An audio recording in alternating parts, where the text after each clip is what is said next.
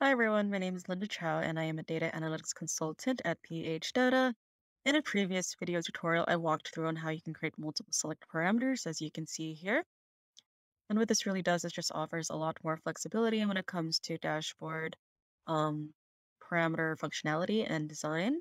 However, you know, one of the drawbacks to this is say if you had a longer list of parameters to choose from, it can be a bit cumbersome to select through all of them if you wanted to view all of the parameters um, at the same time. So a workaround that we can do to that is to include an all option. So in our second dashboard example here, my map is currently showing profit for trails and copiers. But say I wanted to view all of these categories.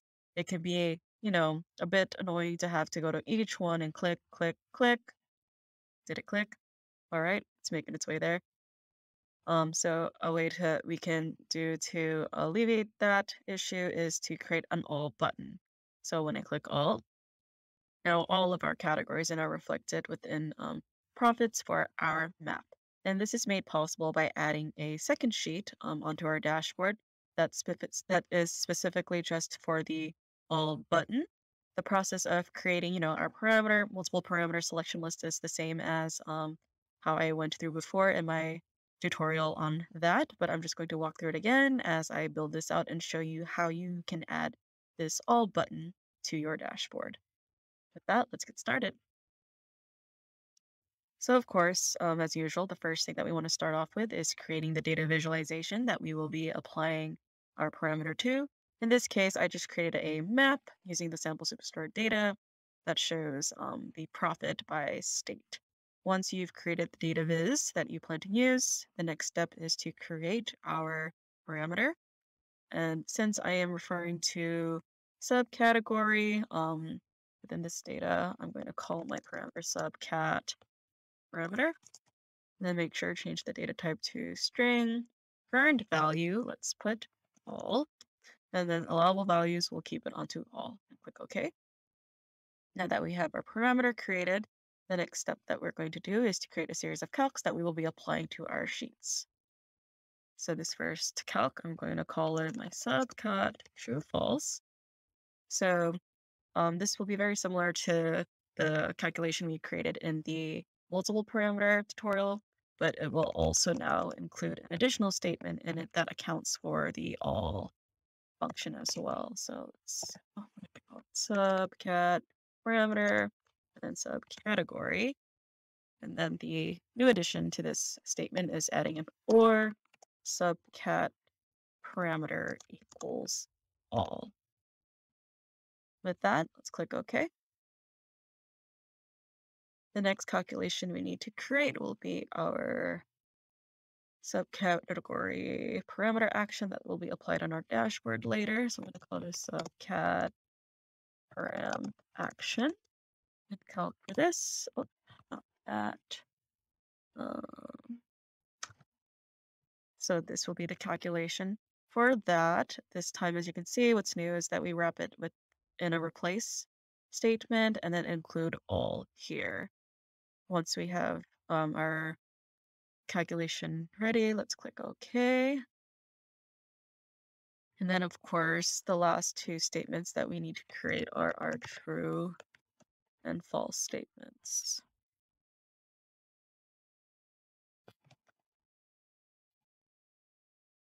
All right, now that we have our true and false statements, we can go ahead and go into creating our list of um, parameter selections. So I'm going to call this uh, subcat list. Let's find our subcategory, bring it onto rows, and then drag it onto text marks. then we're going to drag those newly calculated fields we made onto the details mark. Well, subcat perm actually go into details and subcat true false will go into the color again because that will show us what is being selected or not. Um, then subcat parameter as well as our true and false statements. So we have that on there. We can go ahead and now format our list there is zero.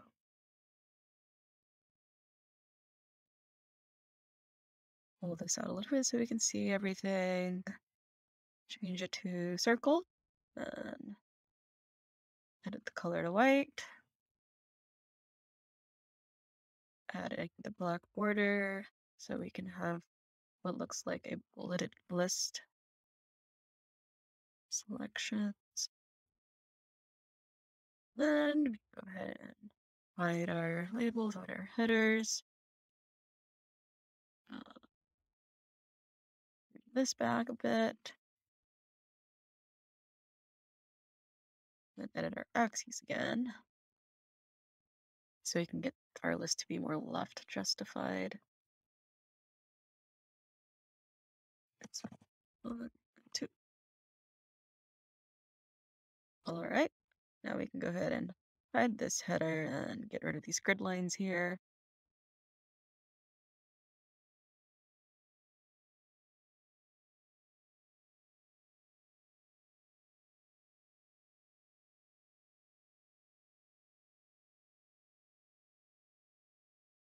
All right, there we have it. Now we have our list of subcategories. Now the next thing that we need to do that's different from the previous um, tutorial on this is that we now need to create a new sheet. This is where we will create the all button. So we're going to call this our subcat all. So with that, um, what do we, we're going to need to create a new calc here.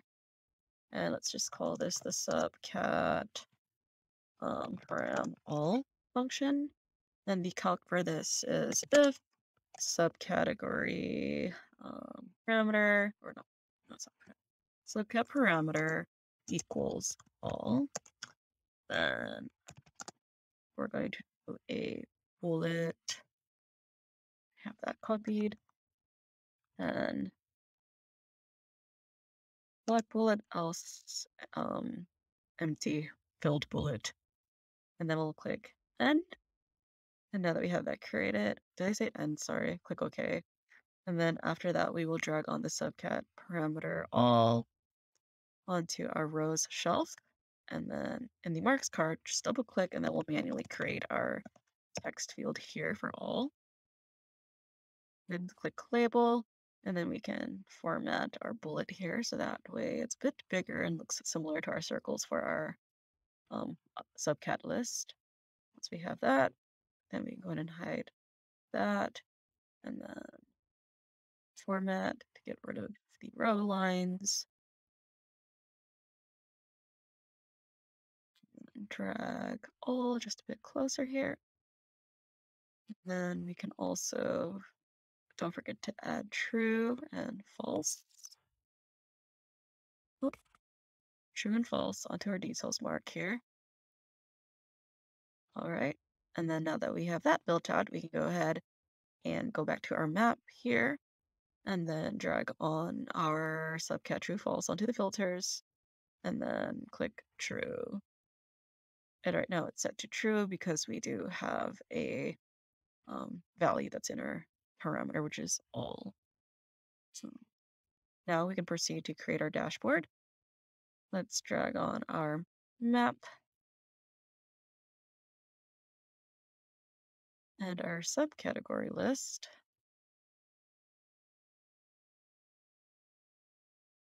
As well as our oh. all button.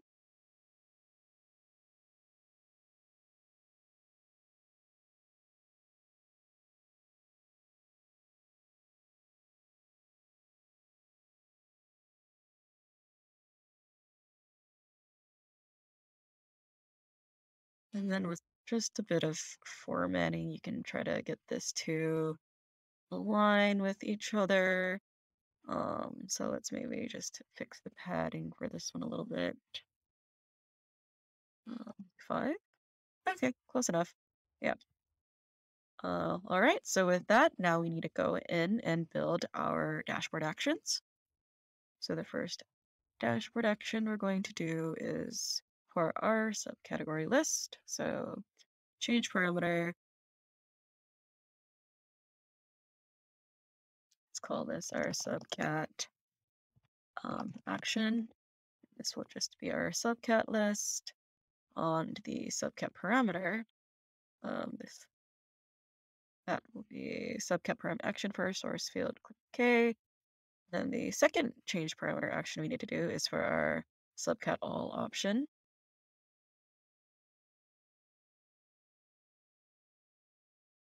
That's subcat action all. We will use our subcat um, all as a source sheet, target parameter the same sort, using subcat parameter, and then we set the source field to all, and click OK. Now we need to create two filter um, actions, and these will be our deselection selection actions on our dashboard. So let's deselect subcat. So for this, again, our subcat list, our target sheet will be our subcat list. Reduction on select, keep clear the selection will show all values. Selected fields, uh, true. Then yeah, false. Okay. And then one more. So every time I click on these, they don't open and then I need to do it a second time. Um, deselect subcat all. All, run on select, and then subcat all, show values.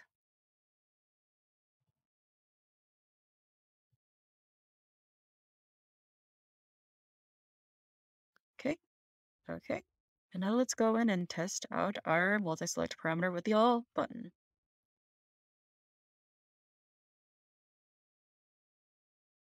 All right, so now I just need a fixed color here. So if it's false, we want it to be white.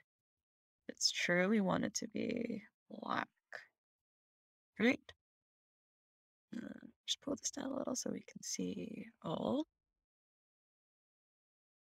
Okay, now if I click all, voila, now all of our categories are selected when we click all. But if we want to go out of it and just focus on one of the subcategories, on appliance if we want to see appliance and art. So as you can see, our multi-select um, parameter function is still working.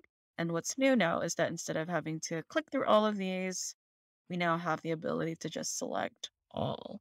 And now that will grab all of our categories to reflect in our data visualization. And with that, that's how you create a multiple select parameter that includes the all option.